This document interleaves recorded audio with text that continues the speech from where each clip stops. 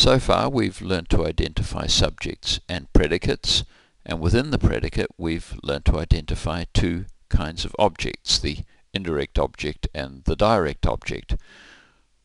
Well those aren't the only functions that phrases can perform and we have to move on and this time we're going to have a look at some different data. If we took a simple-minded approach to uh, the business of identifying units inside the predicate, we'd say, well, this is easy. A wreck is a direct object. The car appeared a wreck. appeared what? A direct object. Well, it's not the same as the car hit a wreck, where the car and the wreck are different things. Here, the wreck is in fact the car. Um, there isn't some new thing, it's the same thing the jury seemed a disgruntled group. The underlined unit is telling us more about the jury. The jury is a disgruntled group. And with the verb become, we also get the same kind of situation. After the becoming, the town is a disturbed community. We don't have two different communities, we've only got the one. So we're going to say that the underlined noun phrases in this case are not objects, but intensive complements.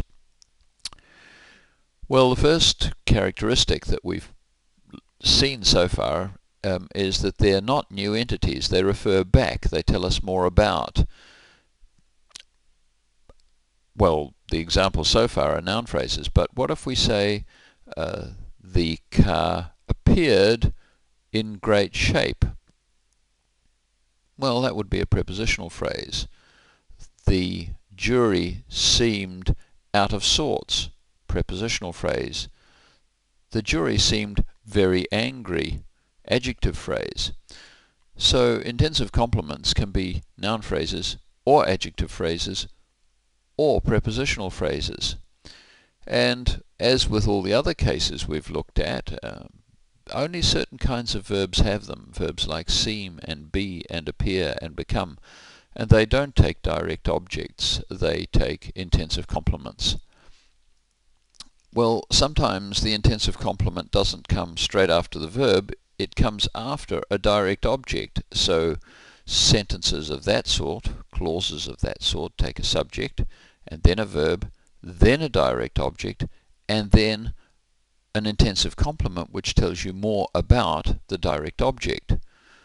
If an election is going on, someone gets elected to a particular post, and the post is um, what they then are.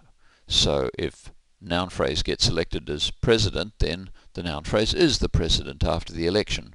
If someone gets named, then the name is them after that, and so forth.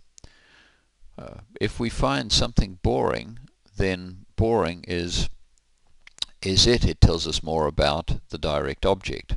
In this case, we've just put NP in there because we're gradually becoming linguists, and that's the sort of thing linguists do. Well, can we uh, make a distinction here? If Jean sold Frida a bicycle, then the bicycle is what got sold, so that's the direct object, and Frida is the indirect object. If Tom owns a camera, uh, the camera isn't telling us more about Tom. It's a new thingy, and uh, it's a direct object. Uh, what about Sylvia? She likes her breakfast. Um, that's fine. The direct object is her breakfast. But what about the hot bit? Well, that's telling us more about breakfast, isn't it? It's an intensive complement. Likes her breakfast hot. Right? Her breakfast is hot.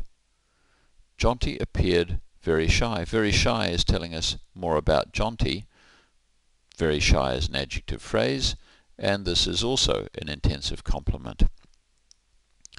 If the captain is doing some judging, then Harriet is the person being judged. She's the direct object. And uh, the most valuable player is Harriet. Um, she's the most valuable player. So that's an intensive complement.